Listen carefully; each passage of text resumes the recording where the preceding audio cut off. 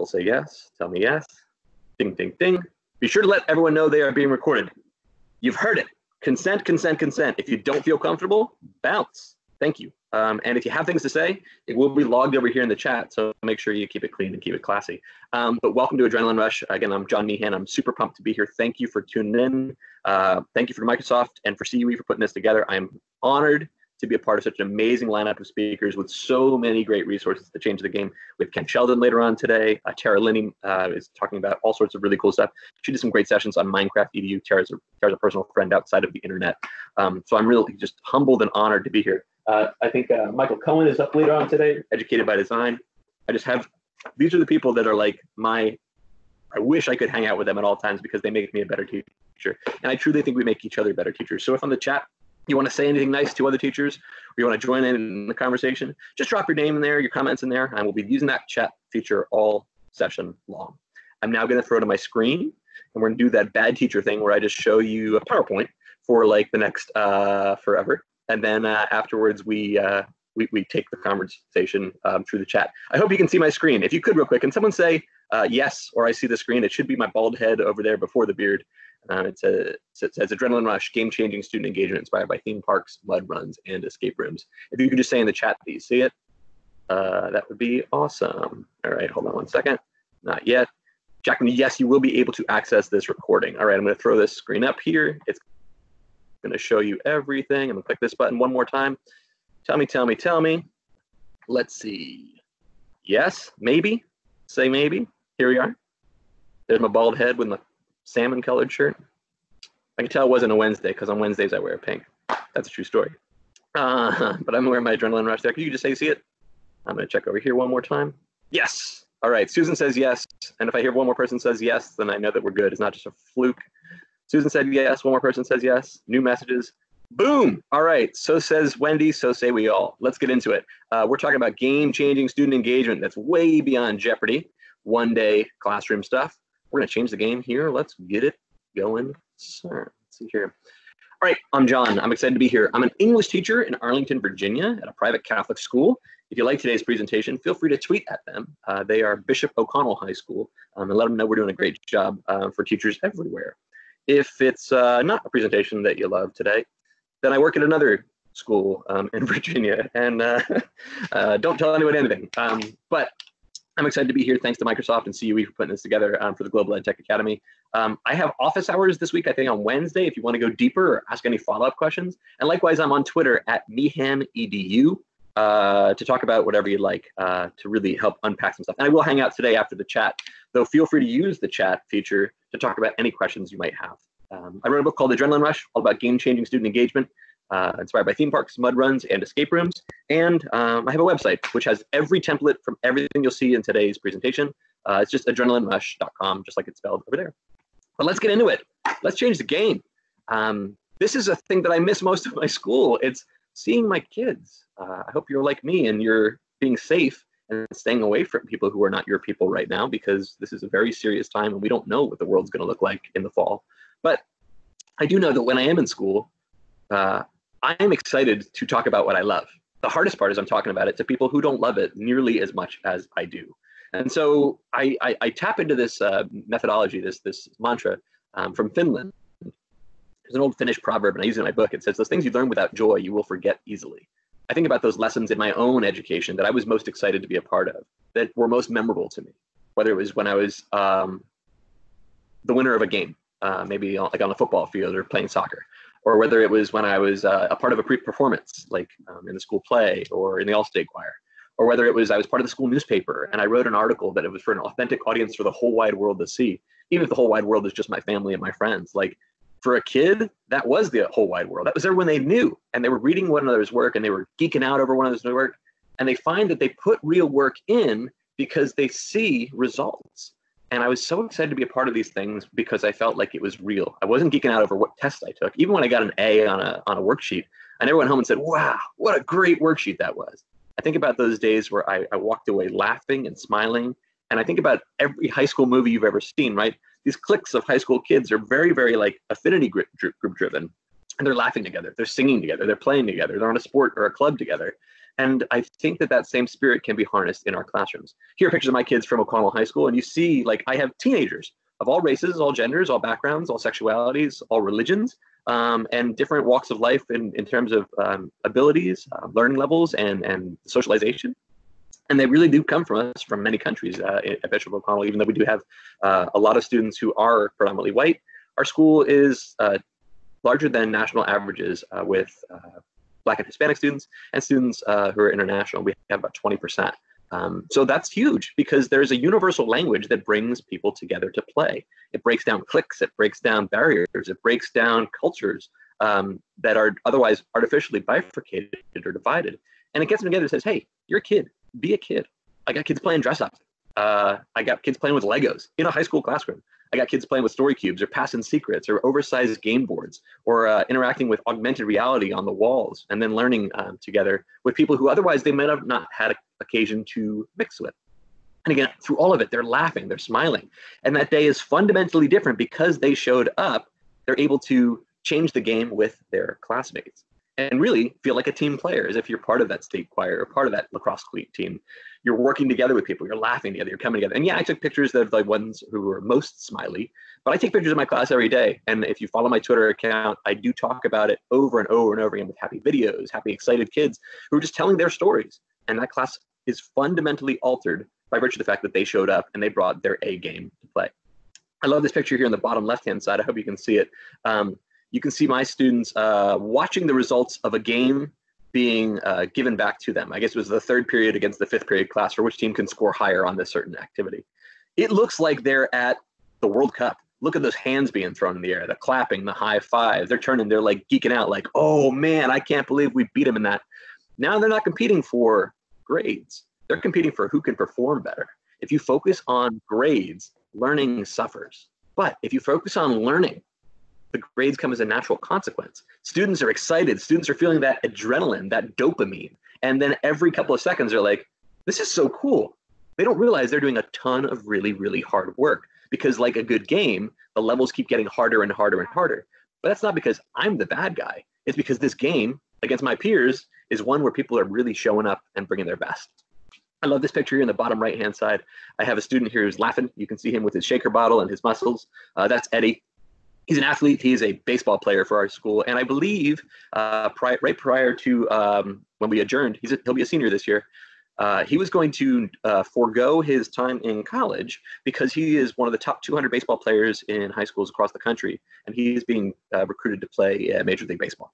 So the plan is for him to, I guess, be drafted for MLB, uh, presuming there is a season, and that that's going to be his his career path. Um, he's playing this game, and you can see he's he's laughing pretty heartily right next to this uh, student here, Chase. Chase was more my speed uh, for the type of student that I was in, in high school. Chase loves music and theater. Uh, we share an affinity for the Broadway show Dear Evan Hansen. Um, and he's artistic, he's thoughtful, he's quiet, he's very kind. But I'm watching him crack a joke and I'm watching Eddie laughing. The occasion for these two disparate cliques in high school to come together doesn't really present itself often in a traditional school. You sit in desks, you sit in rows, Maybe you do one team project every couple of quarters, but otherwise you're just pretty much you doing you. Look at how much more these students are coming to see one another, to laugh with one another, to value one another as if they're part of the same collective team.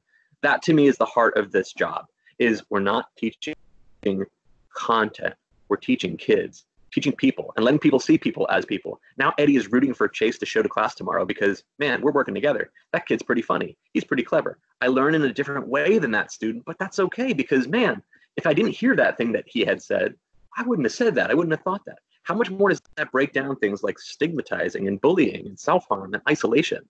Now our students are really coming together and saying, you know what? No matter what happens outside of the classroom, no matter how bad life could be, in this moment I walk into this magic circle, like when you walk into Disney World, and the game changes for me.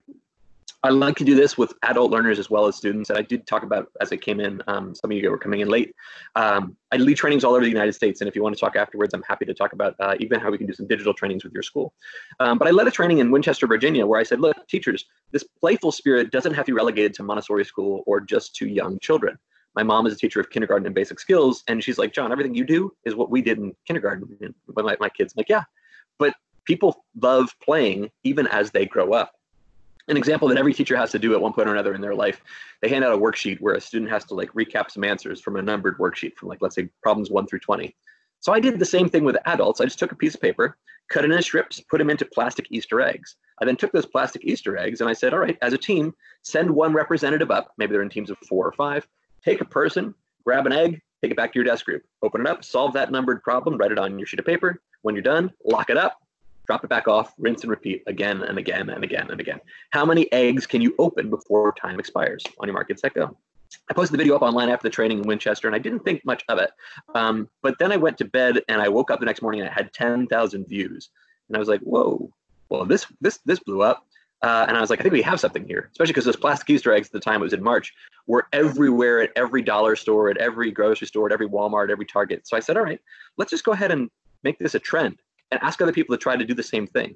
In a month, it picked up 75,000 views. And I started to see this hashtag egg dash challenge, which was inspired by my classroom, happening all over the United States. I wrote the instructions on my website and I started to seeing teachers of littles. You can see these middles, you see these outdoor classes, you see these kindergarten classes. I saw teacher PDs, I saw college levels, I saw kids in private schools in other countries. In fact, I saw people in uh, 40 states across the United States. We kept a track on a big old map uh, six provinces through Canada and 12 countries throughout the world, including Canada, Canada, Australia, and France, as well as the UK and Ireland. And I was like, well, this is it, right? There's a universal language, like we saw in Finland, that says the things we learn without joy, we will soon forget. How much joy did I see in these pictures and in these videos of kids geeking out to learn together, to come together, to laugh together, to play together? Because that's the very serious work of childhood. That's that's actually Fred Rogers. You know, play is the very serious work of childhood. So keeping all this stuff in mind, I was like, well, can we harness that same spirit in our classrooms? I have a test for you today. And I'm like, let's do it, even though we are internet. You didn't know you'd be tested, but you signed up for a PD, so sorry. um, this one comes to me from an electrical engineer. His name is Mark Rober. He gave a TED talk that I really loved. And he says, I'm going to give you a keypad here on the left hand side, and I'm going to give you a test on the right hand side. Um, I'm going to ask you to push button three for five seconds, then button six for one second, buttons three and five together for six seconds, and so on and so on and so forth. Um, I'm seeing if people have like touch screens, they're probably actually trying to lean in and touch it now. Uh, it's not a one page test though. In fact, it's like a 90 page test. And you're not allowed to go to page two until you have page one 100% correct. If I gave you this test today, first thing in the morning on the East Coast or the West Coast time, or Lord knows where internationally, how much would I have to pay you to take this test, even though you signed up for this, right? What if we took this test and just presented it with a slight twist? Let's say we called it a game instead. Now, it's not a great game, it's still the same presentation, right? But let's take this game and let's present it like that worksheet in an unconventional way. Take that quote test, turn it into a quote game where now we turn it sideways and said, all right, now can you do it? Maybe you took this quote test or this game and you posted underneath the desks in your classroom. Now students were spelunking caves or exploring the Sistine Chapel and they had to solve it by leaning on their backs and trying to see what they can solve, right? Um, where you cut up in strips, put them in Easter eggs. And in this case, uh, he says, let's take this keypad and rearrange those buttons. Same six buttons, just in a different configuration. And let's add a little bit of a paint job on it, a little bit of a story to them too, rather than Easter eggs. Now we've hidden things inside of a paint job. Take that same test, and instead of the written prompts we used to have, now we get as visual prompts. And ask that same question. How much uh, would I have to pay you to take this test? Or more directly, how much would you pay me now to do the same thing? Because it is the same thing. Games and tests are the same. And our kids, when they go home, play video games forever. And video games are hard. They fail and they die as a hazard of the game. They expect to get blown up in Minecraft or in Fortnite or in Mario Kart. And they die pretty routinely, pretty regularly. But then they come back to our classrooms, lose one life, so to speak, right? Get one math problem wrong, throw their hands up and they say, oh, I'm not a math person, I can't do it. Yet they'll get killed in Fortnite 40 times for the privilege to play that game again. So could we tap into that spirit of playful learning that we see in theme parks, mud runs, escape rooms, in this case, video games, to get people excited that it's okay to try and fail again. It's in fact safe. It would be a, a, bad PD if I did not give you a good acronym. So here's our acronym for the day. If you take nothing else away, good games are precision engineered feedback machines they offer specific, actionable feedback that's delivered expediently. When you play Mario, you run, you fall in the hole, and you get another life and you do it again. Rinse and repeat again and again. Same works with the theme parks, the mud runs, and the escape room. Your students freak out about that roller coaster. They don't want to do it. They don't want to do it. They don't want to do it. They get on that roller coaster and immediately they turn to you and they say, Mom, can we go again? Right? You do that escape room and you're like, I don't know if I have the right answer. They're fiddling with the locks. They see the music blowing away. The sounds are tick, tick, tick, and they're freaking out. They bust the lock and they're like, oh, and into the next room they go. Specific, actionable feedback delivered expediently. That's not the same as our classrooms, unfortunately. Traditional classrooms collect a pile of essays once every two weeks, once every three weeks. Then we, as a teacher, take it home and have one or two or three or four glasses or five bottles of wine while we grade that big stack of papers. And then three weeks later, to students and say, here's what you did three weeks ago. They completely forgot. They might have written it on the bus. There's no speed, there's no accountability. And so they forget and they move away how can we expedite our feedback systems in our classrooms to create opportunities where it is okay to fail? Unless we think that this is just some sort of geeky uh, video game thing, it's not. It, the, the science behind how and why this works dates way back to the earliest days of antiquity. Uh, this comes to us from a, uh, a researcher. His name is uh, Josef Pieper. He's a German philosopher in the middle of the 1900s uh, who's, who's since passed away. But he is the uh, preeminent scholar of the 1900s on St. Thomas Aquinas, who, and my family is Catholic, my, my school is Catholic. The Catholic tradition reveres St. Thomas Aquinas because he is the reason why we go to Aristotle and Socrates, because of all of the people like the original church fathers. He dips back into antiquity even before that time and says, this is what learning is supposed to have been. In fact, in Pieper's book, Leisure is the Basis of Culture, he says, the things that we get to do happen in the leisure world. The things that we had to do, he calls them the work a day world.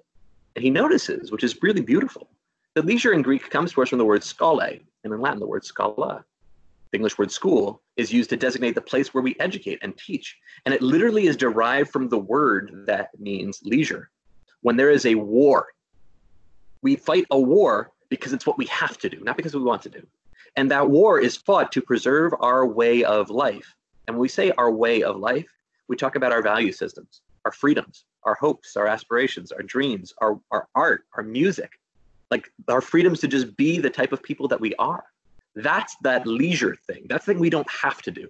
Yet somewhere along the way, our schools felt the need to be so super serious. And maybe it's at the time of like the Industrial Revolution that we started grading children as if they were meat through a grinder. We're pushing them through in assembly lines as if they are here, sit down, shut up, take the medicine, and on you go.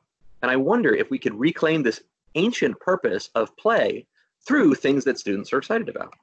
So let's talk about it, play, and we'll have an actual quiz uh, for real, for real, this one. Um, this one comes to us from a, book called The Game Believes in You, How Digital Play Can Make Our Kids Smarter uh, by a man named Greg Toppo. Greg is the national K-12 education reporter for about 20 years uh, for USA Today. And he has since gone on to be the managing editor, I believe, at the Chronicle of Higher Education. So he is uh, no joke. He knows his stuff when it comes to, to education. He was a former teacher himself before he got into journalism. Um, in his book, The Game Believes in You, he talks about how technologies really can change the game, but that technology is a bit of a misnomer. He uses the piano as an example. He says for people who are born when a technology comes out, we call it a technology. Wow, look at this fancy new Xbox, this new PlayStation, this new piano. But for people who have lived only after that technology was invented, we just call it a tool, right? You would never sit down at your piano today and be like, I'm sorry, I can't talk to you guys now. I have to go play with my technology. You wouldn't. It's an instrument, it's a tool. And in fact, the piano is not so different than video games. With enough time and enough patience, you can get just as good as Mozart. You push the wrong key, it tells you the wrong sound. Then you have a chance to practice it again. Toppo suggests in his book that games are infinitely patient and infinitely stupid. Unfortunately, teachers don't have infinite time and we have limited patience, right? So when we're listening to kids and working with kids, like, ah, oh, we just gotta get through this. But games don't care if it takes you two, three, five, or 10 times practice and fail and do it again, do it again, do it again. They're precision engineered feedback, feedback machines. So looking at old school video games, I'm talking way back, like early arcade games, old school Mario Brothers, Mega Man, uh, Legend of Zelda. There is an intended rate of failure when they design video games um, that they kind of want you to fail a certain amount of times. Now, we will have a chance to chime in on the chat about the failure rate here. The question is, what do we think that intended rate of failure is? Keeping in mind that if you fail too often, you're going to take your control and throw it across the room. But if you don't fail enough, like if you walked up to casino and pushed a button and says push here to win, then there's no payout, right? Because there's no risk. What do you think that failure rate is in that old school video game? And we'll put it from 0% to 100% on a first playthrough. If 0% failure is everyone who plays passes every time, and 100% failure is everyone who plays is going to die the first time. What do we think that failure rate is for the average player between 0%, again, everyone passes, and 100% failure, everyone fails? And go ahead and use that chat feature um, here in the forum. I'll take a look. I'd love to hear your thoughts, and I will come back to the presentation presently, but I wanted to see what you have to say. Uh, so our failure rates, let's see what we have here. I'm seeing 20%, 50%, 60%, 70%. Angie says 83%. Ooh, ah. Um, Jackie says 30%. Someone's going to say $1 like Price is Right uh, or beat it by only a penny. Um, this is interesting. I'm seeing all these, these things here. I'm, like, I'm running the numbers real quick. Becca says 75%. Uh, these failure rates are pretty high. Uh, Kathleen says 85. Uh, if you built a test and you said, good news, principal, 85% uh, of my kids failed it, you would not be working at that school after two or three days, right? You'd be working at Starbucks because they would not have a teacher who gleefully rubs it in that four or five kids out of five or six kids failed. Um, let's look at the actual retail price over here. I'll hop back to the doc. Um, actual retail price, you see it right there on the big one 80% failure rate. When they design games for an old school difficulty, they want four out of five people to fail. Isn't that crazy? Games are designed to be really, really hard there's a whole graduate program in the University of Michigan that studied to the science of what they call gamification, which is how we use elements of play borrowed from things that are traditional games to just make the life more interesting, more engaging, more marketable, more better. And average price of failure in the world outside of games is only like 23%. Games are actually three times harder. You're almost like three times more likely to fail a game than you are to fail in life.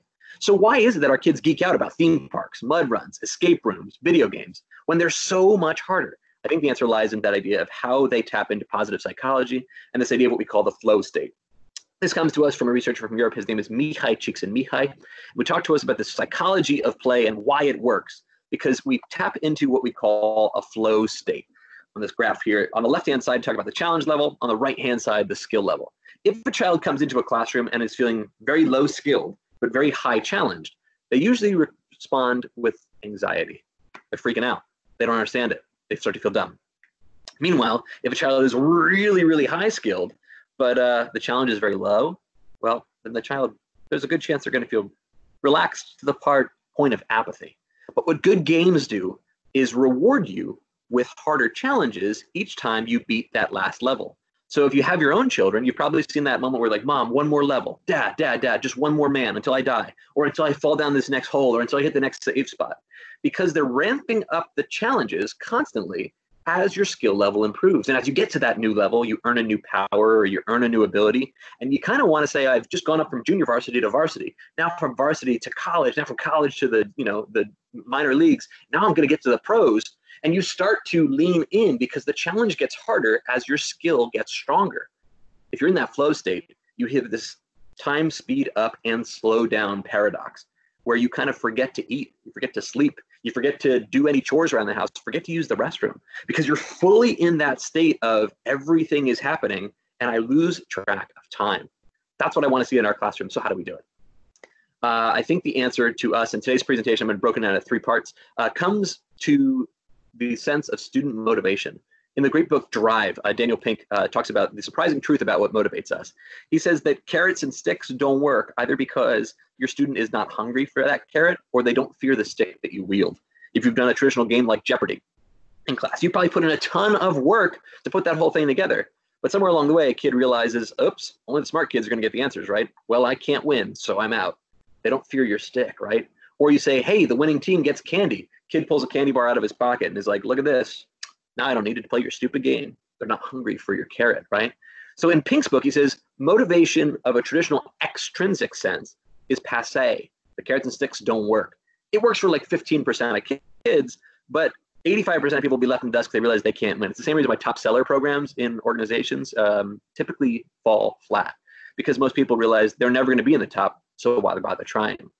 Instead, Pink suggests that if you want to get people amped up, if you want to get them to care, you have to hit their heart have to hit their mind and you have to hit them in, intrinsically. And he says that good games, good playful systems, good motivating uh, organizations tap into a sense of autonomy, provide mastery, and they deliver a sense of purpose. And I want to talk about the traditional game of school very quickly because the traditional game of school fails in all three of these categories. Traditional game of school is I have to give these kids homework because reasons. So you give them homework every night for each of 10 nights. And then they take a test every two weeks. And because you gave them homework and they got a test, you give uh, you know the average of those grades, and that's the grade for the quarter. And then they move on to the next unit, unit two, unit three, unit four. We know darn well if we give homework to every kid and we don't grade it, well then they're not going to do it. So we start giving 10 points a night for homework, but then they just start copying one another's homework. And then they get to that test every two weeks with 100 free points in the bank. They take that test and they get a 60 because they didn't learn anything over the last two weeks. Then we say, well, Billy, you had good homework. You just need to study harder. And he takes a 60, averaged out with 100. He gets a B and 80, and we move on to unit number two, rinse and repeat. And that's our school year. For our students, there's no autonomy, there's no mastery, and there's very little purpose through any of this. If a child has 100% in your classroom, then why do they have the same homework as a child with 0% in your classroom? If a child is failing your classroom, then why are they being asked to do homework where they teach themselves a thing when they're probably making those same mistakes again and again? For the first, there's no autonomy. For the second, there's no mastery. And ultimately, if they know that they can do nothing for two weeks and average it out with you giving that test and doing that mathematical sleight of hand, or maybe bringing an extra bit of hand sanitizer so they can get five more points, well, then there's no purpose to any of that learning. How do we get our classes fired up to change the game, that flow state, that autonomy, mastery, and purpose, to really tap into that leisure spirit of the things that we learn without joy become soon forgotten, making our classes more fun? So I'm going to talk about autonomy, mastery, and purpose right on full display here with examples from my own classroom. And the rest of today's presentation will break into three parts. First, we'll talk about autonomy, then mastery and purpose. Um, we'll spend most of our time here on autonomy to start. If you've ever played a video game like Mario Kart, you probably have your favorite player. Uh, maybe you're a Mario guy. Yeah, wahoo, right? Or maybe you love Peach or Yoshi. And even Yoshi, you have your favorite color Yoshi, blue Yoshi versus pink Yoshi. Um, there's no functional difference between these these racers. I realize people who are really geeky are like, that's not true. Luigi is 4% faster. Okay, fine. Um, but you get fired up if someone takes your guy. The same happens in Monopoly. Uh, you have all these different pieces. That's the first choice you get to make. Hey, did you consent to playing? Cool. Which of these playing pieces would you like more than other pieces? There's no difference between the hat and the car. The car doesn't get to move five extra spaces because it's a car, while the hat has to stay because it's a heavier piece. There's just a chance to make a choice early and get in the game. And those choices really don't make much of a difference, except for to say this game allows you to make choices. So here we go. Talking about autonomy here. Early in my school year, I know I have a full year of American literature. I teach 200 years of American literature. I'm sorry, 400 years of American literature. Starts in the 1600s and ends in the 2000s. And I have a lot of content to cover, way back from the Puritans, stories of like the Scarlet Letter, Hester Prynne, all the way up through stories of the Harlem Renaissance, stories like Their Eyes Are Watching God and Zora Neale Hurston, contemporary literature, things like Ernest Hemingway, the American classics like Huckleberry Finn. That's a lot of content to cover. So if I could have that sense of autonomy where my students feel like this isn't being fed to them, rather it's being presented like Easter eggs that they must discover things, well, perhaps I could hook their attention. So I presented my class as if it's a 400 year race for the American dream. And because it's racing for a dream, I called it the Dream Rush. Now we are explorers in a brand new land of American literature. And together we have to understand who has this dream, who stole this dream, who has access to this dream, who's who's losing this dream. Is it fundamentally accessible to all people? And in each unit, we'll be telling little pieces of story to unwind our whole year narrative that we as time travelers can go through 400 years of content. Again, just a new coat of paint on it. And together, rather than reading these books, we're going to live these books. They're going to come to life. Now, I realize that's a little bit of hype and marketing, and yeah, that's part of it. But I want to tap into that imaginative sense of play that my students immediately see themselves as players in this game rather than passive receptors on the bench watching it. So, thankfully, with the 36 weeks of content, I have about 12 units. Each one takes about three weeks to move through. Um, I just have the stories that I rip off the theme right from the books that we are going to read. So when we read uh, Ernest Hemingway, for example, now we're in a war zone or when we're uh, reading the story of Huckleberry Finn, now we're on the Mississippi River, for example. But the brain is really good at keeping different stories separate. And the easiest example I would point to anybody is if you're watching Netflix, you probably can watch Breaking Bad and also be watching The Office. And at no time do you believe that Dwight might be in trouble because someone is going to get him caught with crystal meth, right? There's this brain has a cognitive dissonance that stories exist in their own little bubble, their own sort of magic circle. Walt Disney World works the same way. When you walk into the haunted mansion, it's the spooky place. When you walk into Cinderella Castle, it's the charming place. When you go to the Jungle Cruise, it's the adventure place. Each of these themed worlds has its own set of rules independent of one another. So as an American literature teacher, I take those things and I amplify them as the for the next three weeks, we'll be playing this quote game where all of us are working together to make sense of this very difficult subject matter. Now, as an English teacher, it's easy for me because it's been provided by the books that we have to read. But if you're a science teacher, you can do the same thing. Level one could be we've crash landed on an alien planet and we don't know if there's intelligent signs of life here. Now it becomes a biology unit where we have to explore things under microscopes. Just that little bit of a twist, right? Now students are seeing themselves as terraformers or bio, bio, uh, biological researchers on a brand new alien planet. Then unit two is okay, we've collected our samples, but we need to blast off. It becomes a physics unit. Now we have to turn our, our, our ship into something that's spacebound. So talking about uh, drag, um, I'm sorry, real quick. Someone seems to have a microphone on and it's popping. Uh, if you could just mute, I, I appreciate it. Um, I'm sorry. I'll, I'll, hold a second. If yours is that microphone, I just gotta. I think we're good. Awesome, thanks. Um, no. Sorry, yeah, it sounds like someone has a spoon in the background having coffee. Maybe uh, it just keeps slamming in the ears. Um, so as we're moving through uh, different units, and thank you again, I appreciate it. The the sense that we are in that magic circle, and I use that uh, story to really help them feel suspended in animation. In Disney World, you don't see people from Spaceland when you're in Adventureland, right?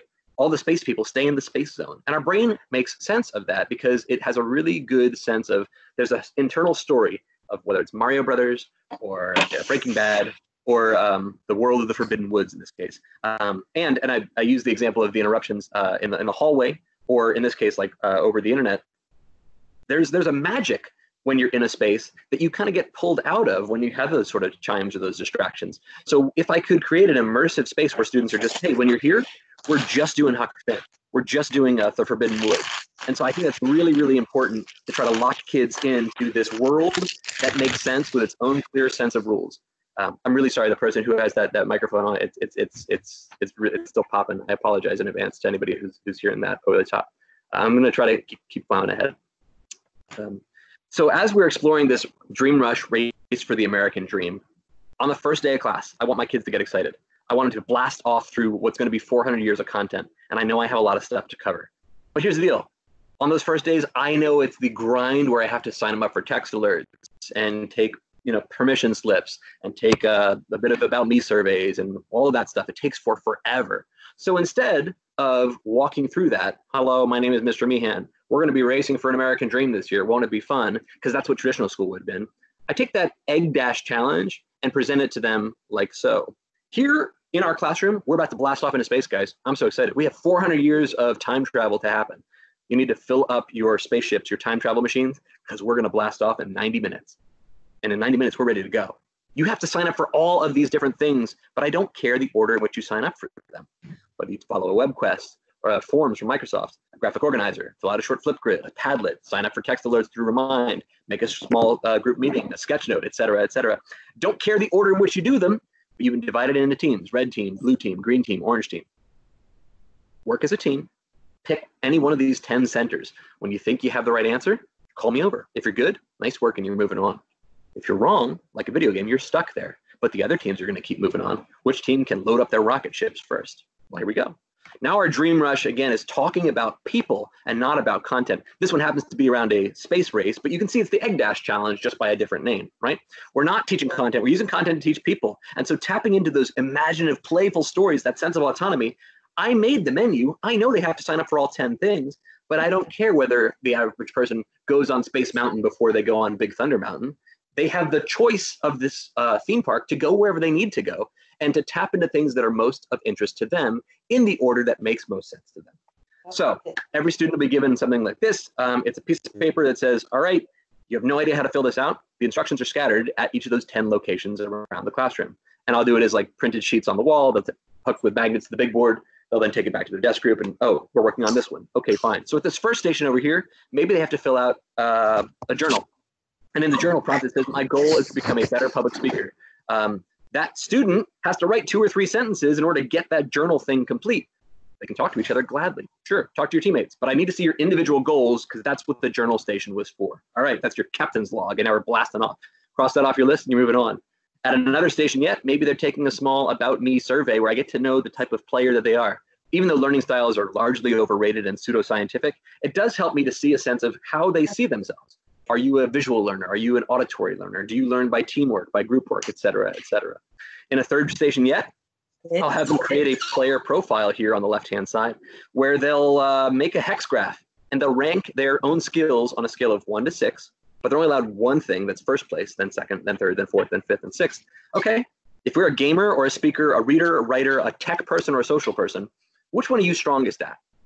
Back and forth we go. How much more do I know every student by what I see here, what they turn in, rather than me saying, oh, so you think you're a reader, huh? Or we play two truths and a lie.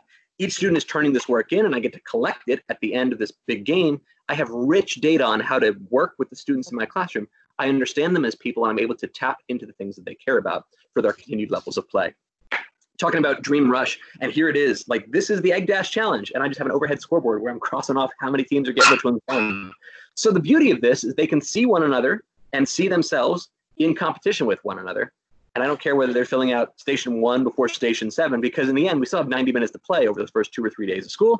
And the rule is whatever stations you did not get done as a group, become immediate individual homework for you as an individual. Well, now there's a sense of like urgency there, right? They can see, oh, the gray team is doing well, we're falling behind. That's a problem. So yellow team might step it up. But meanwhile, I as a teacher, if I see a team racing way too far ahead, like Monopoly or Mario Kart, it's not fun when someone beats you to the point where it's way like a blowout. So instead, if I check in with the gray team and they're doing really, really good, maybe I ask a few more clarifying questions to slow their pace down just ever so slightly. It helps like a rubber band to bring the game back in. So at no point becomes a dead runaway. And that scoreboard is always closed. So everybody's always finishing at just about the same time. And if they're not finding themselves raising ahead and they're falling behind, then I come over and I say, oh, yellow team's falling behind. Maybe they need a few attaboys or a little bit more proximity control to make sure that they stay on task. It's fast, it's fun, and in the end, over two or three days, they've signed up for all of those things I've asked them to do, even if they did it in a totally different order than this team next to them. And that's okay. In Doug Lemov's book, Teach Like a Champion 2.0, he says, you know, you can't give carrots and sticks. He says the reward for right answers always has to be harder questions. So that when you're done learning, you're never done learning. Learning never stops. There's always a new challenge. Um, and I think in my classroom, I try to capture the same thing. So there's always enrichment activities like a Montessori school if you're done with thing X, nice work. You've earned the right to level up on a thing Y. Again, like we talked about flow state. What does that look like for autonomy? Maybe if they finish a station early, and I'll see examples in my class where let's say we're working on something with the Great Gatsby, their group or their team finishes early, I'll give them a bag of Legos and I'll say, can you build me uh, what we read last night out of Legos? And just take pictures of it and put it in a PowerPoint. Go. What? Like, I don't know what they're going to say. It's annotation exercises. But when they start to construct things, that very constructivist uh, approach was, again, very Montessori. Well, if they're looking for the green brick, they're not looking for the blue brick. They know specifically that I need a green brick. Nope, it needs to be green. It needs to be green. It needs to be green. And they're building their vision of what a thing looked like.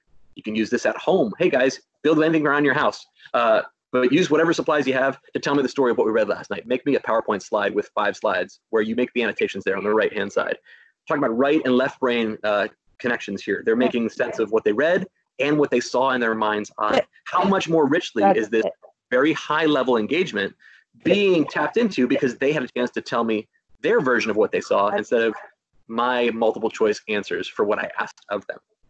I love the idea of coming from creativity here. One of my favorite toys and tools is called Rory Story Cubes. There's an app, I think it's called Story Cubes or Story Dice. Um, you can do the same thing. Uh, I think the app is free or maybe a dollar or two.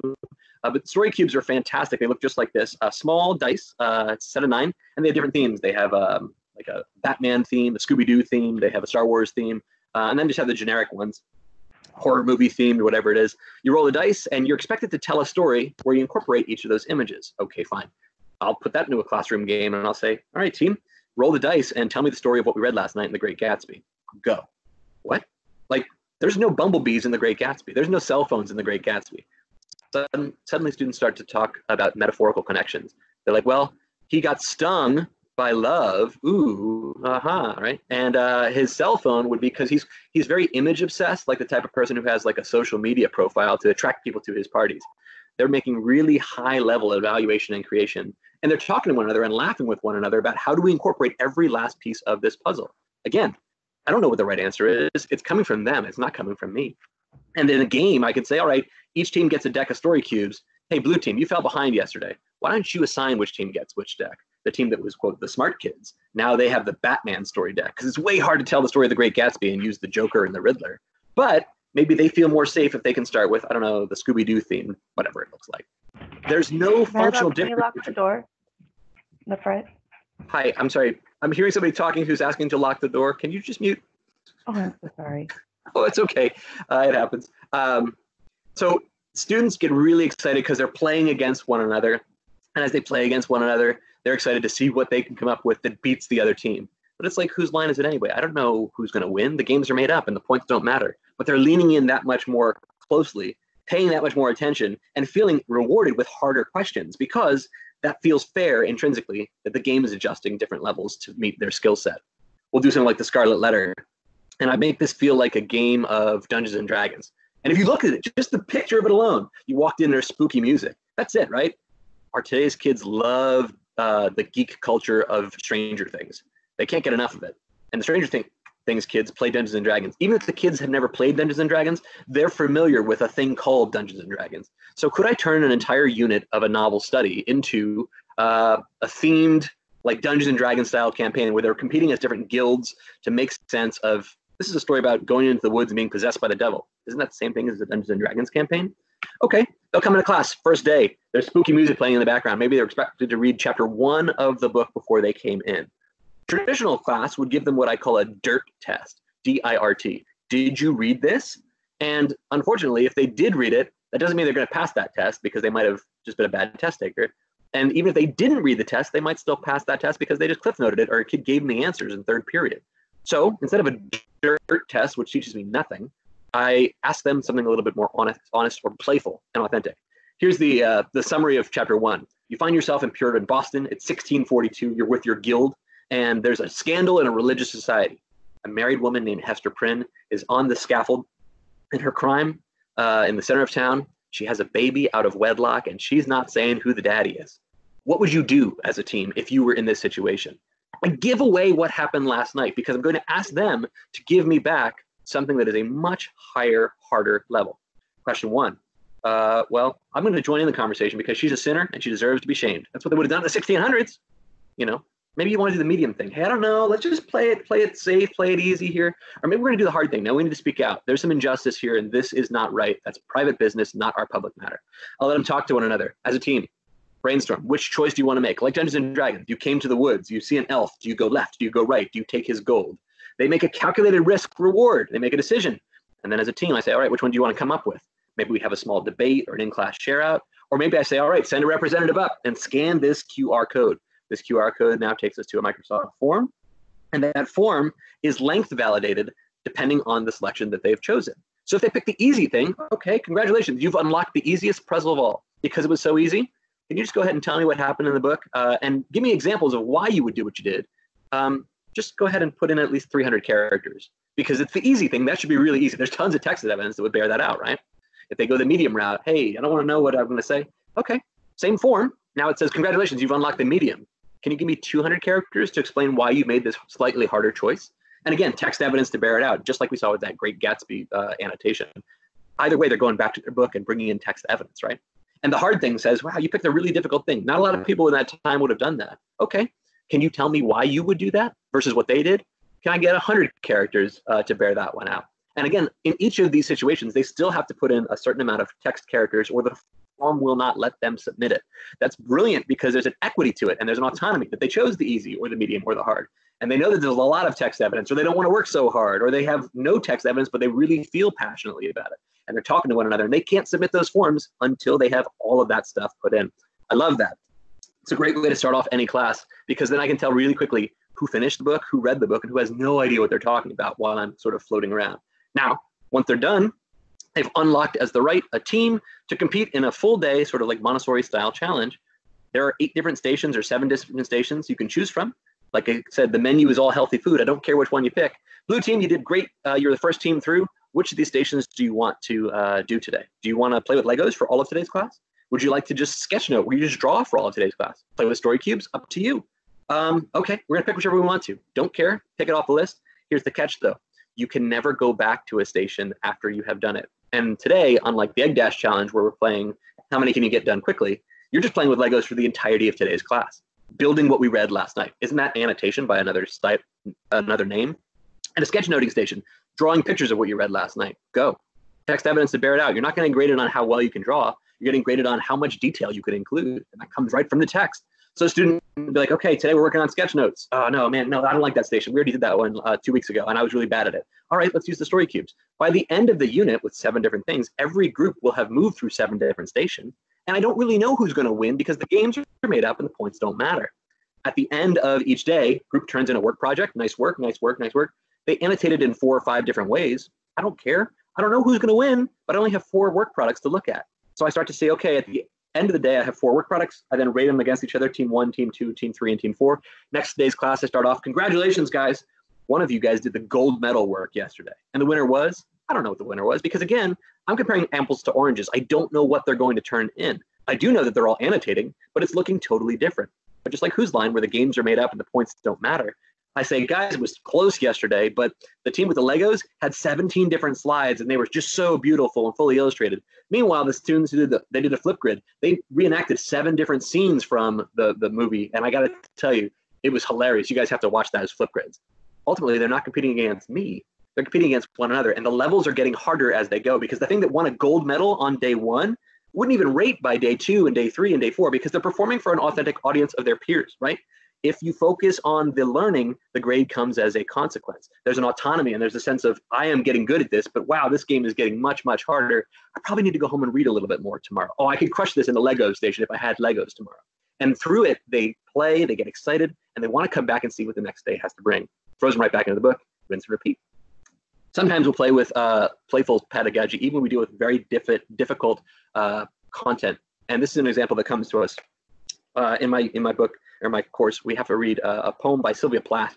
Uh, it's called Daddy, and it deals with some psychosexual trauma. It would not be appropriate to make a themed game or an amusement park or an escape room that was based on um, psychosexual trauma, um, abuse, self harm, suicide. Uh, this one deals with imagery borrowed from World War II and the Holocaust. All of these things would not be appropriate for game based learning. And I would say the same thing to teachers who were teaching things like slavery or the Underground Railroad, uh, Japanese internment during World War II, even things like Black Lives Matter just because uh, you can make a game out of it doesn't mean that you should. And in fact, this can cause real damage if you're not careful. Because the low hanging fruit way to do it is okay, let's see how many people can escape the Holocaust before. Don't do that. You're making light of these things. And especially as an educator who is white, middle class, cisgendered, and heterosexual, I have to be palpably aware at all times that the people in my classroom may not have the same privilege or the same life story that I have.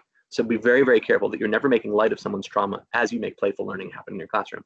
But that doesn't mean that you cannot use playful learning strategies to teach difficult concepts matter. In this case, I just gave students a bunch of dice from a Dungeons and Dragons uh, deck of dice role-playing game dice. I said, roll the dice, add up the total that you got. Whatever the total is, that's the number of words you're allowed to keep in this poem. Circle the words that you think are most important in this poem, then black out everything else. And as you black it out, I want you to reveal to me a picture of what you think the main idea of this poem is based on the words you have left. So, using playful strategy not to make fun of trauma, rather to help students make sense of a very difficult subject matter through something that's more familiar and age appropriate for them. This first example, Jared rolled some dice and came up with whatever he had 27 words. And it says, Daddy, uh, you lied. I thought German obscene, Jew not pure, scared for God, brute devil man, back, back, back, I'm through, killed two, you bastard. Look at this. I didn't teach anything about this poem. I just gave that to the kid and I said, go. How much does he understand based on what he has shown me? Again, really high level interaction. He used the German flag. He uses a woman being oppressed by a man, and he's talking about visual connections that he's seeing coming to life from the words that he had left, almost like an Easter egg hunt. This is what I've discovered out of this poem. Our second one here comes to us from a student who made something that felt like a maze. Um, it borrows from the top to the bottom and it moves and it says, I do kill you, my Polak friend, stuck, German obscene like a Jew, with a brute like you, you bastard. And it ends here with this sort of gaseous, noxious, this sort of claustrophobia. our author is dying by suicide uh, as, as the gas comes out of a, a gas oven, which happened in real life. Um, the student did that research independent of me, not for a grade, just because they were fascinated by what they unlocked and they wanted to see if they can get to the heart of it. Again, it became like a detective story. What was this author writing about? And the idea of gas and asphyxiation and the Holocaust all sort of tying together with a very traumatic thing. Um, the certain student, Eliza, I loved the amount of work these students put in. This one here has a very clear sense of choking. I feel like I can't breathe, right? They got that out of the poem. And yeah, I picked the pretty ones, right? But I can tell you I have a library of 40 or 50 of these that I started posting on my Instagram. And the National Council of Teachers of English said, Can we get copies of all of them? Because they are amazing. We would pay your kids for that. I was like, That's it, right? I did not have to teach a word of these poems, but the students themselves, because they're competing and sharing and showcasing, they want to be seen for what they can discover. Tell them that we're focusing only on the grade. They don't care what they learn. If you focus on the learning, this is the type of work that they'll turn out this is another example, another unit, uh, talk about autonomy. I said, hey guys, we're studying what it means to be a romantic hero and explore the world like Alexander Hamilton or explore the world like, uh, you know, Lewis and Clark or Sacagawea. And I said, can you make uh, a player card where you tell me uh, what type of player you would be if we were, you know, like an action figure joining the world of. So the student here on the right, I noticed he could draw. Um, and that's what made me uh, catch the idea that he was um, like a, a, thing worth paying attention to. But what was interesting is he created, created his character who was something of a showman, a bit of a performer. Um, I noticed here, and I zoom in on it, he presented to me a hydro flask with some dope stickers, as he said. And I was struck by this because as a teacher in an English uh, department, rarely do I get to talk about social justice issues, but for the student, social justice was really important. And a teacher in a Catholic school, I rarely get to talk about LGBT issues. And I noticed in this video or in this presentation, this student was uh, identifying as LGBTQ or an ally. And that was because this game created a space where he felt comfortable doing so. How much more am I able to reach this kid because I know that about him? And now there's no blame or shame or judgment. There's no Pokemon achievement gap that black kids learn worse than white kids. But there is an achievement gap in school that we say, well, only white kids can do X, Y, and Z. Games don't care whether you're gay or straight or rich or poor or black or white. Games care what you can do. And that game gives you feedback that says, hey, thanks for sharing that with me. Let's see what I can do to bring more issues that are of issue to you in this classroom. How much more than he feels safer and supported to keep trying again. That autonomy is so, so important. Um, I talked about autonomy. I'm going to spend the, uh, the last 10 minutes of the presentation here about autonomy into mastery and purpose. Talk about mud runs. Uh, I do mud runs. I realize I need a better hobby, but in my uh, mud run experiences, uh, I find that they're fun because it's a race of me against me. Yesterday, I did a seven mile run with a friend, and uh, he's way faster than me, but I'm never racing with him. I'm racing with me, right? So I'm pushing myself to can I get better than I was last time? And that's what drives you back to it with a little bit of vanity of, hey, I look a little better in the mirror. I can do a little bit stronger. I can push a little harder, et cetera, et cetera, et cetera. In fact, it's not just amateur athletes this comes to. In the Olympics, um, there's a great study in a book called The Rise by Sarah Lewis, who I believe is a researcher out of Harvard. Um, it's called Creativity, the Gift of Failure, and the Search for Mastery and talk about uh, medalists in the Olympic Games. They did a long study on people who were at the top of their field. And what they found is statistically, there's no real difference between the gold, the silver, and the bronze medalists, barring rare exception. We're talking about like a hair or a flutter or one foot here or there is the difference between a winner and, a, and someone who doesn't even place. But was interesting is when they got to the medal platform, the reactions of these performers were night and day. Gold medalists, of course, are glorious and victorious. Bronze medalists are elated to even be on the platform because they almost missed it and they're just happy to be there. But silver medalists, almost without fail, look like McKayla Maroney because they're like, dang it, I was one move away, one inch away, one step away. This is the same psychology in that flow state to how gambling addiction works because people believe if I was just one more swing of that bat, one more roll of those dice, I could have won. I kind of want my kids to go home feeling this way, where they're silver medalists just about every day. Because what they found is that students or performers who get that second place kick themselves so hard into high gear that silver medalists go on to medal again in subsequent Olympics at a higher rate than bronze or gold medalists because they're haunted by this idea of if I just could give this one more shot, then I would get there. That to me is really empowering. So, how do I get my kids to come back every day and want to keep working? Answer once a week, I'll push out a score sheet It'll come out on Fridays. Hey guys, here's who's in the top of the score, second place in the score, third place in the score. Here's who's got the gold medals, the silver medals, the bronze medals. And I'll present it in what feels like a comic book that comes out every week. It does not have the grades attached to it because, again, three teams could get first place, but only one of them gets the gold medal. Eight teams can get A level grades, but only one of them can walk away the victor for the day. And so they're seeing the relative rank of how they're performing up against how other students are performing. And then students, because they're seeing it for an authentic audience, right? They're going home and saying, Mom, Mom, Mom, check it out. I got the gold medal this week. Pictures and videos, linked content, quality work products being shared out.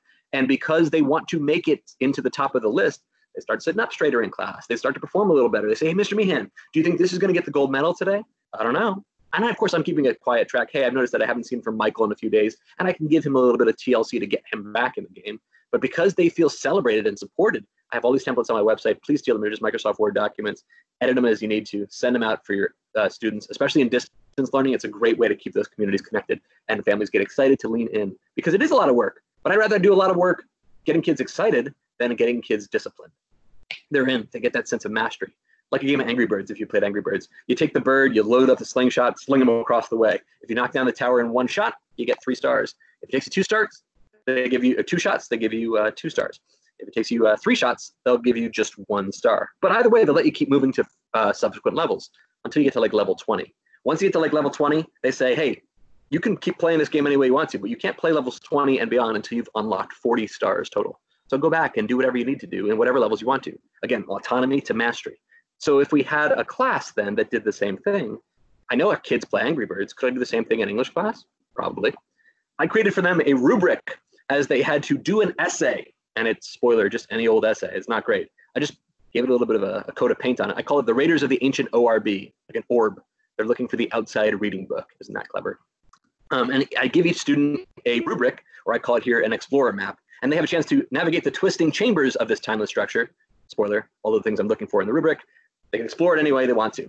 Each time they think they have it, come to the defender of the orb to collect their treasure. Micro credentialing, micro checkpoints instead of needing to micromanage. They work at their own pace. So just two weeks in class, we're just writing an essay, and I'll give them the rubric. Here's the rubric looks like. This is everything that would have otherwise been in my traditional rubric. I have, I think, 16 categories here. Each of them are worth four stars or four jewels, whatever it is. So as students are working, I don't care which one they work on, just like we saw earlier with that Montessori school or that egg dash. Um, I don't know, this one here, font and spacing. Paper is written in Times New Roman size 12 throughout using one inch margins, proper title, and page headers. Student comes over and says, Mr. Meehan, I want to check that one. I think I got it. I spot check it. Right there on the fly, I either know that student, nice work, all four stars, good to go. Or um, you have three of those four things, not quite. I'm going to mark it as three out of four. You're welcome to check in with me again, or if you want to, you can move on to another. But I'm just going to let you know right now, this is what it looks like today. If you turn it in, you'd only get three out of four stars. Okay, right.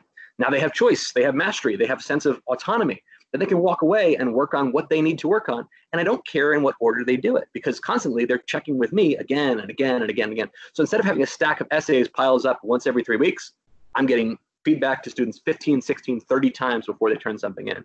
We'll turn into a sort of a game. I'll have the PowerPoint in the background going. Students will have magnet versions of whatever their avatars are for their unit as they explore their way through it.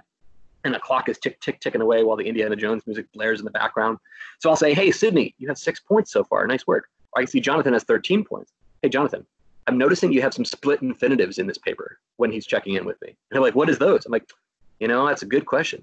Uh, I think I'm going to need you to research that and come back. If you want to get four stars, that's what it's going to take. Jonathan's getting harder questions because Jonathan is racing ahead. It's not fair to treat every student equally because treating every student equally and treating them fairly does not mean the same thing. Meanwhile, Alex here in the bottom, he's just struggling. Maybe he just needs help with subject verb agreement. So I give him an attaboy and I give him a different feedback and I know already that Jonathan is going to be working on a much harder thing. So by the time that Jonathan comes back in, for Jonathan to do Jonathan's best work, that's not the same as Alex doing Alex's best work. And that's okay. Just like the game sense will slow one student down to get everybody back in the game, at no point does a student feel bullied, blamed, or shamed, because then I can follow up and say, hey, Chase, we need to talk about, or hey, Alex, we need to talk about, or hey, Sydney, how are we? Then when we get the grading and it's done at the end of the unit, um, they have to take a look at, okay, here we are. How did I do? Traditional rubric on the left-hand side. I'll take that and I'll turn it into a game as well. Here's what you guys did. But because I don't hate you, your grade for this unit comes 50% from what I found, and it comes 50% from what you think. Take what I have presented to you on the left-hand side, just like we did in our opening challenge, um, and map it here on the grid on the right. So we're creating a spider web graph. Um, I call it a personal record rubric. Um, you might see in this radar plots, whatever it looks like. Chart the information from the left that I gave to you on the right because the research shows that the person who's doing the reflection is the person who's doing the learning. Now connect those dots. And I'm going to give you three questions. And again, my grade for you is worth 50%. What you tell me is now worth 50%, so take it seriously. Question one What obstacle right now are you dominating? Which one are you doing a great job with? And tell me why. And I'll ask the questions one at a time so students actually take them seriously, right? Oh, I did really good on sentence structure. I thought I had a nice variety. I did a really good job subject grammar. Blah, blah, blah, blah, blah. Okay. Question two. Which of these obstacles has given you the most trouble so far? This kid might say, oh, I'm struggling with bodily paragraphs. Mr. Meehan, I don't understand it. I keep saying this, but blah, blah, blah, blah, blah. As long as what they're saying with their eyes is meeting what I'm seeing with my eyes, or maybe they're letting me know I'm having trouble because boom, boom, boom, boom, boom, boom. I can give individual feedback and help out accordingly. Because question three is, okay, so how can I help you get unstuck in that thing that's currently sticking you? That's not Bart Simpson writing on the board, I will not throw spitballs at the teacher. It's individual students saying individually, here's what I'm working on and here's where I'm stuck.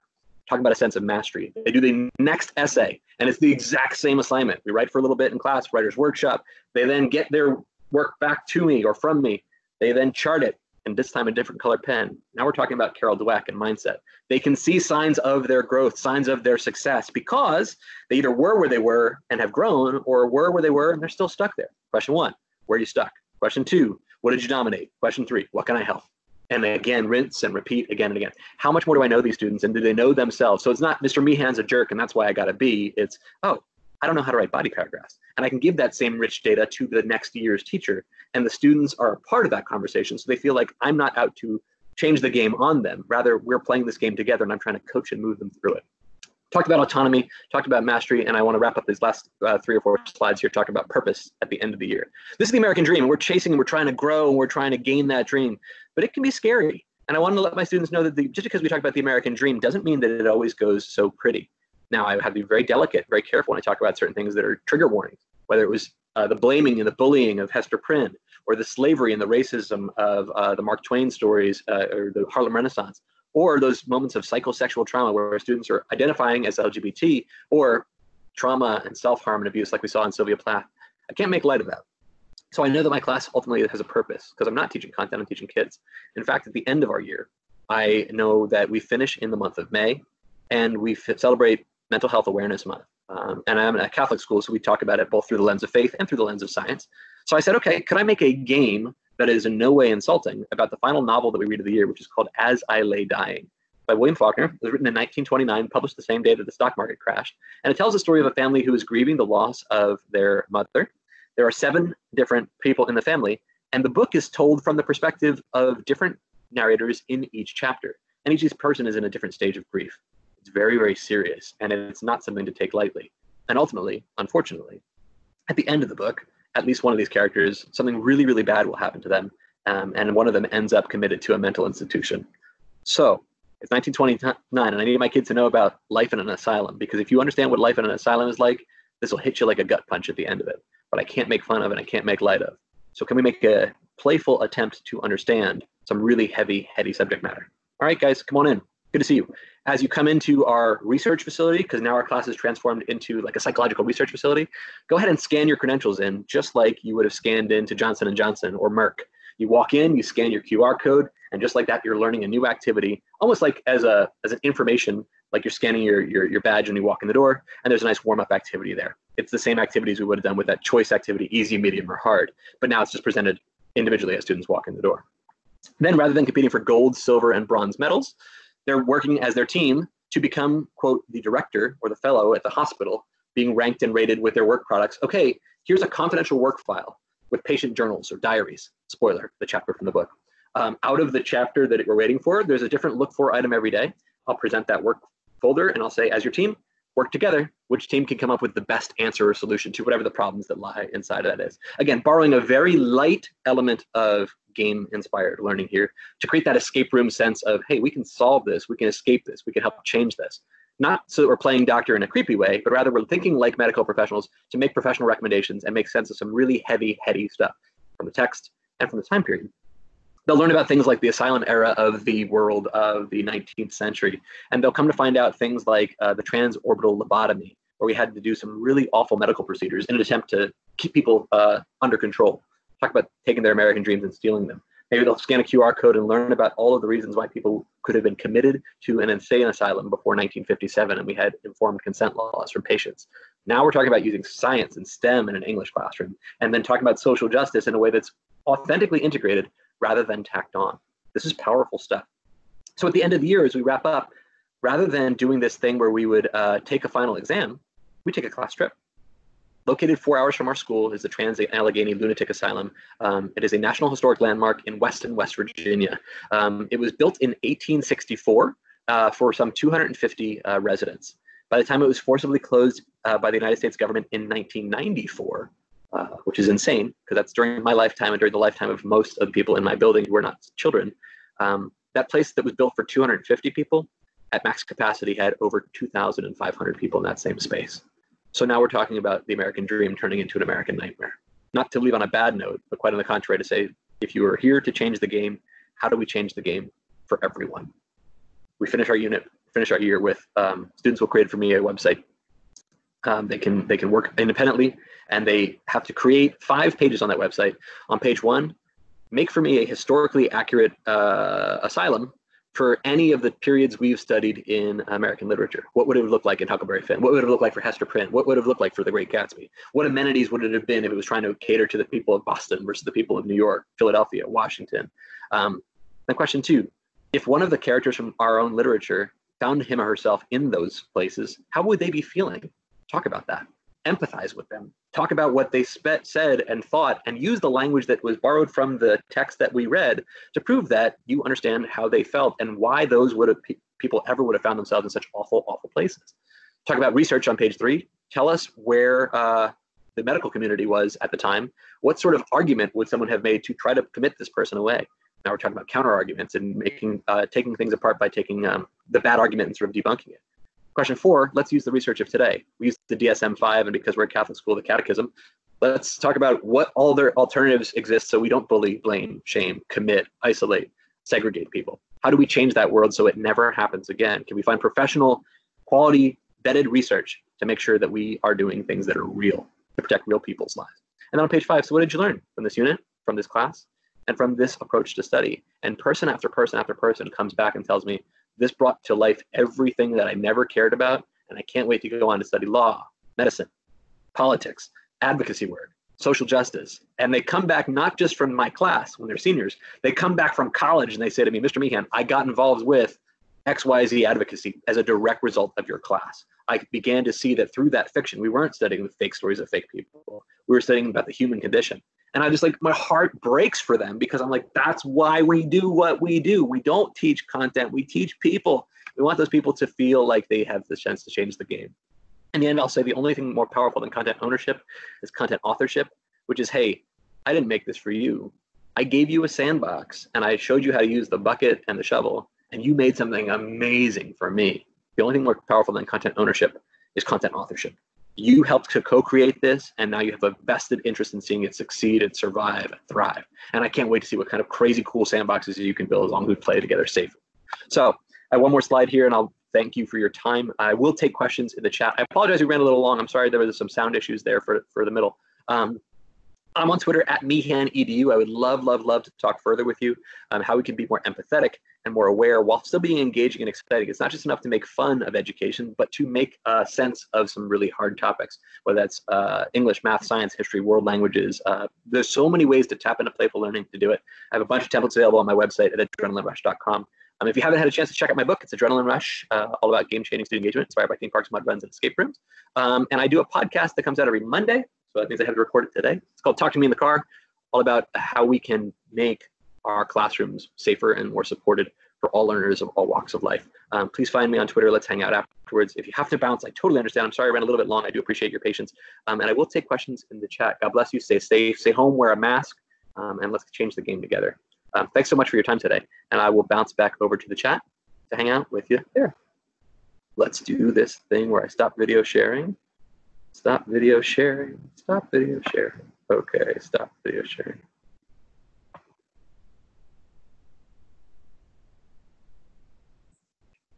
And then I do this thing where I put the video back on. Hey, that's me.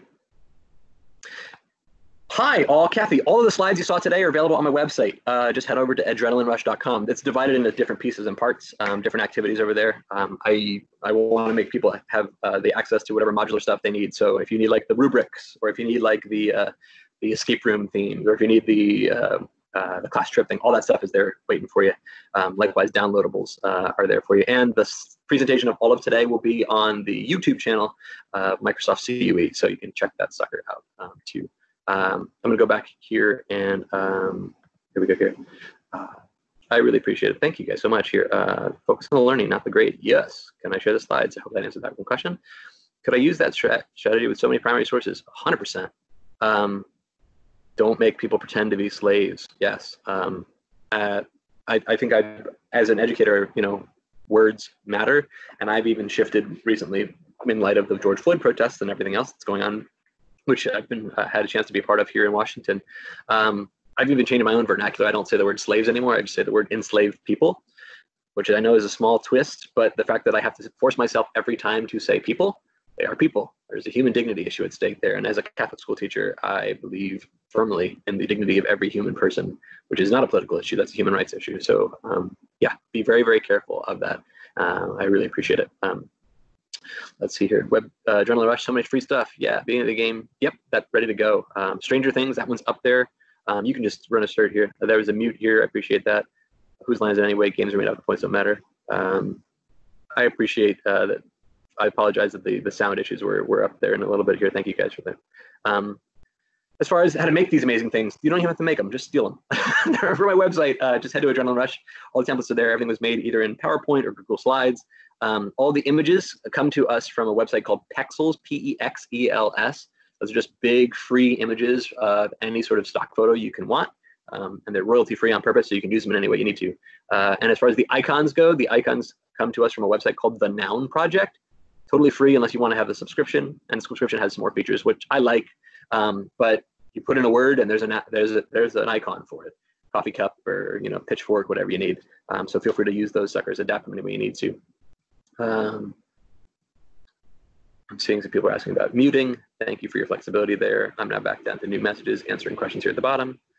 Let's see let's see. Thank you guys so much here. Are there directions on how to create the digital time clock? That's a great question corinne. Um, i didn't even have to. I stole it from youtube. I just went to youtube and found an embeddable clock.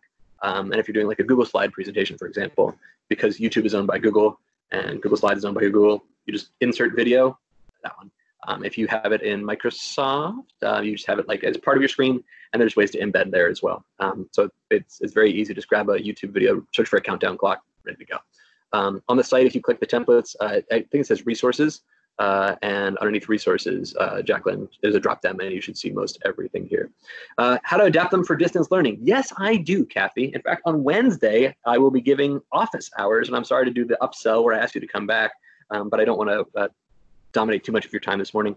Um, but I will be talking entirely about adaptations I've made for distance learning. In fact, on my website, if you want to sneak peek at it, if you don't have a chance to get back on Wednesday, um, just head to uh, edrenalinerush.com. There's a thing that says distance learning. I have a whole drop down there of distance learning uh, templates available. So yeah, let's go for it. Anything I can do to help. Um, happy, happy, happy to help.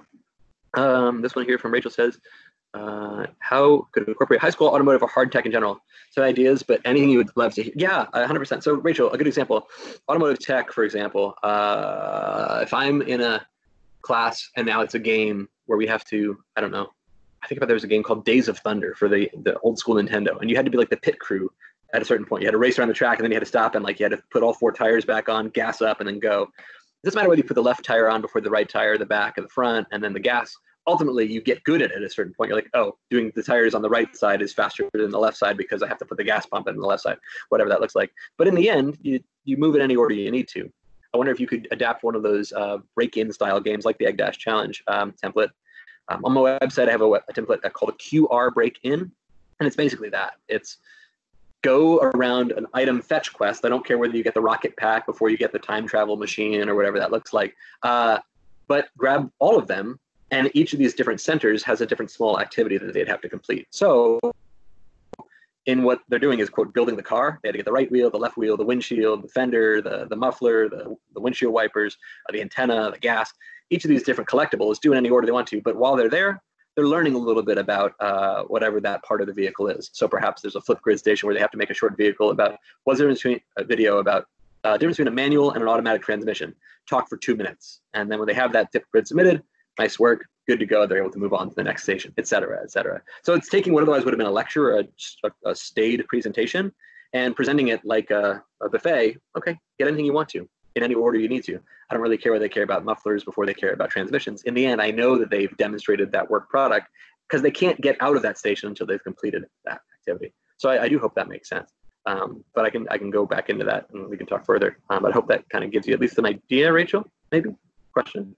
Um, Becca says the book looks great. Oh, thank you. I arri- flipped through it as it arrived on Saturday.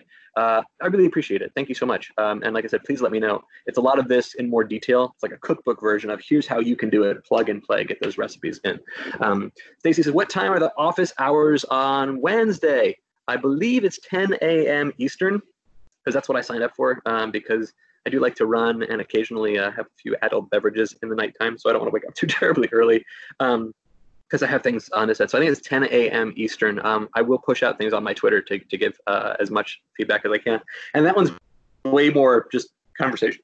We just sit in, we ask questions. Um, I have some distance learning templates that if we're in a pinch, I can throw up in the background and we can talk about it. But um, hopefully we'll get more one-on-one time. And if you hit me up on Twitter and you say, hey, this is great, but those times don't work for me, just let me know. I'm happy to talk about all those things too. Uh, Jacqueline, where can we get the recording? I'd love to rewatch this. Yes, and in truth, uh, to kindness to everybody here, no disrespect to anybody. I understand microphone issues, tech issues happen. Uh, I'm not on my A game today. I felt bad because I was I kept hearing that pop in the background in the middle, so I ran a little longer. I apologize. Um, if you head to the YouTube and just search for Microsoft CUE, I believe there are two different uh, presentations that I've given on their YouTube page. One that's entirely about distance learning, and one that's the presentation you saw today, only a little faster uh, and maybe with a little less distraction. So if that helps, I think that's already up there. Uh, this one will be as well, but um, that one's there for you if you need it. Stacy says, uh, yeah, 10, 10, 10 a.m. Eastern. Um, I really appreciate it. Thank you guys. Um, oh, 7 a.m. Pacific time. Great. Um, yeah, so that's where we are. Um, and if you all have to bounce, I totally understand. I mean, it's Irish goodbye. If you want to hang out, I'm going to stop the recording now but I will stay and take questions afterwards. Oh, perfect. Thank you, Naya, for posting that up there. Uh, there's the link. Well, boom. And there are a bunch of them here. Um, and not just me, like there are fantastic educators. And what I love, love, love is you can watch things back in double time. Um, so if you're like kind of doing something else around your house, just, you know, have it in your ear, uh, tune in for the parts that you needed to pay attention to. That's a great feature uh, of YouTube. I'm gonna stop the recording now. I'm gonna say thank you again, uh, but I will stay and answer any questions you all have um, for, for the next little bit. And I appreciate your flexibility. So I'm gonna hit stop say thanks, and I'll see you. And now when I hit stop,